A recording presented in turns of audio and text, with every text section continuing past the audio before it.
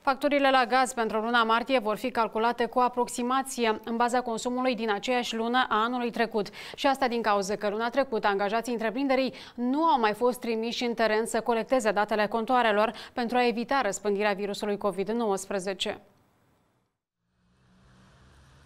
Potrivit întreprinderii Moldova Gaz, în calcul au fost luate temperaturile de afară, aproape identice cu cele din luna martie 2019, dar și datele de contor de anul trecut ale consumatorilor. Astfel de facturi vor primi aproximativ 30% din consumatorii casnici și 50% din sectorul comunal-menajer. Furnizorul anunță într-un comunicat de presă că cei mai mulți dintre consumatorii non-casnici industriali sunt dotați cu contoare telemetrice. În cazul lor, facturile vor conține indici reali. Președintele companiei Moldova Gaz, Vadim Ceban, a declarat că decizia a fost luată luată pentru a evita răspândirea virusului de tip nou COVID-19. Potrivit oficialului, sănătatea personalului și a clienților este o prioritate absolută pentru Moldova Gaz. Anume astfel poate fi explicat numărul mare de facturi cu aplicarea consumului prognozat. La solicitarea consumatorilor în luna aprilie poate fi efectuată ajustarea facturilor la consumul real confirmat prin poze ale contorului. Anterior, Moldova Gaz a îndemnat consumatorii să transmită online datele de pe contoarele de gaze. Serviciul lansat recent de furnizori este disponibil pe pagina web a întreprinderii la o rubrică intitulată Consumator. O parte dintre clienții Moldova Gaz au fost sunați pentru a prezenta datele contorului la telefon. Cei care nu au fost de găsit vor face achitările în baza calculului mediu al indicilor de consum.